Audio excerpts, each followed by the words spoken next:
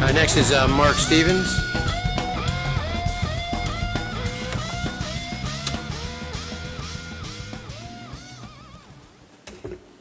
Excuse my camera, my main one is broken. Uh, I think the members of the council and mayor, you you know what my issue probably is. I've been confronting uh, or requesting evidence that your Constitution, uh, the state Constitution laws and the laws that you pass apply to me just because I'm physically in Scottsdale, and I've not been able to get any kind of evidence. Uh, uh, Your city attorney, the- his office or his secretary said he was not going to speak to me, but I, I do want to give a shout out to your, uh, to Mr. Fritz Behring, who had the decency and the professionalism uh, to speak with me, and actually be honest enough that if he couldn't produce the evidence, he said, I don't know. He didn't just get uh, loud with me, he didn't throw me out of the office, and he wasn't like your police. He didn't threaten to put me in jail because I asked a question that he felt was uncomfortable. So again, I put the question to you, since the generalization is that you believe that the Constitution and laws of the state of Arizona apply to me, and also your local rules and regulations apply to me, for no other reason than I'm physically in Scottsdale. And I know you will agree with that generalization, because your police enforce it at the barrel of a gun every day.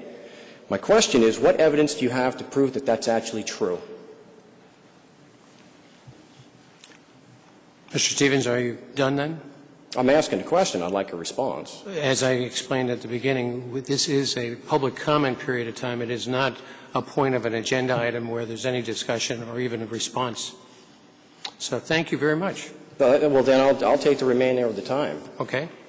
I, I, uh, the reason why I'm doing this is because when you go to your courts, there is collusion between your prosecutors and your judges. And I know you may not have much oversight over your judges, but you absolutely have oversight over your prosecutors and your police officers. We're getting tired of your judges colluding with your prosecutors and your police officers to give the cops and your prosecutors a free pass on the issue of jurisdiction. And that when we go in there, we have these corporate psychopaths called judges screaming from their, from their wooden throne to have us thrown in jail because we dared ask a question that the prosecution has to prove beyond a reasonable doubt anyway.